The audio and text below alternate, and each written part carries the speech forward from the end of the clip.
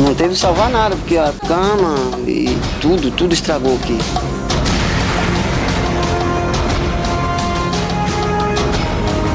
A enxurrada percorreu 300 metros até essa rua aqui, que segundo os moradores se transformou num verdadeiro piscinão. Era tanta água que chegou a atingir 3 metros de altura e destruiu tudo o que encontrou pela frente.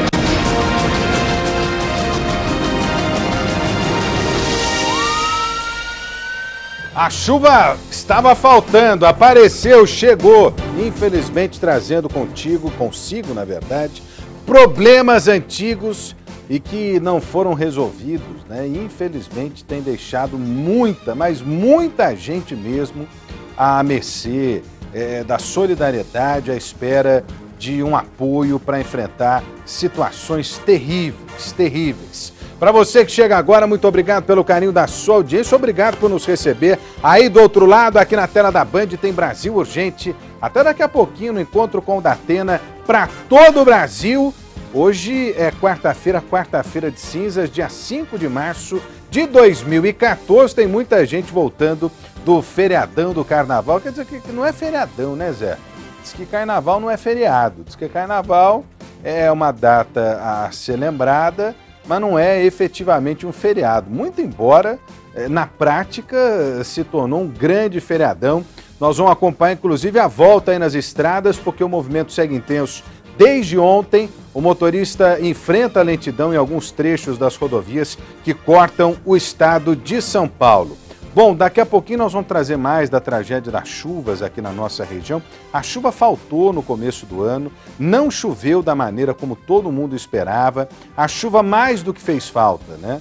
Provocou inclusive racionamento de água em algumas cidades da nossa região. Só que agora ela chega, chega com força e encontra pela frente né, um caminho de descaso, um caminho de abandono, é, de pessoas que infelizmente continuam sofrendo e muito com a falta de infraestrutura, com a falta de cuidado do poder público. E depois não vão dizer que a gente não avisou, porque ó, faz tempo que nós estamos mostrando aqui, faz tempo que nós estamos denunciando, faz tempo que a gente coloca no ar denúncias mostrando é, é, várias regiões de Campinas, de cidades aqui é, da nossa RMC, onde há problemas de infraestrutura nos bairros mas é, problemas para os quais, me parece, as cidades fazem questão de fechar os olhos. Fazem questão de fechar os olhos. Uma grande pena, né? Porque por trás é, desse tipo de acontecimento, como esse da madrugada, noite de ontem, é, podem aparecer mortes, podem aparecer coisas ainda mais graves, ainda mais graves. Daqui a pouquinho todos os detalhes da enxurrada, enchente que atingiu Campinas. Como é que tá o tempo agora, hein, ô, ô Ney? Dá para mostrar aí? Como é que tá o tempo agora? Lembrando que né, os termômetros hoje já subiram, atingiram algo em torno dos 28, 29 graus. É bem verdade é, é, é, que, bem diferente é, do que a gente vinha experimentando nos últimos dias, agora, olha só, o termômetro marcando 23 graus, com umidade relativa na casa dos 90%. E tem chuva, hein?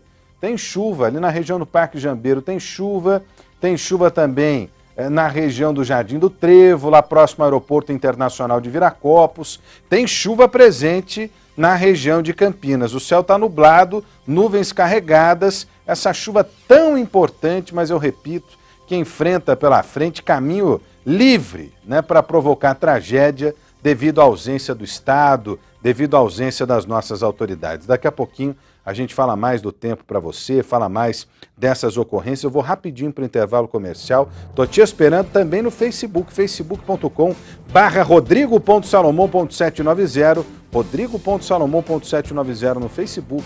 Eu estou esperando a sua participação. Pode comentar comigo os assuntos do dia, pode trazer a sua mensagem aqui na tela da Band. É rapidinho, eu já estou de volta e você não sai daí.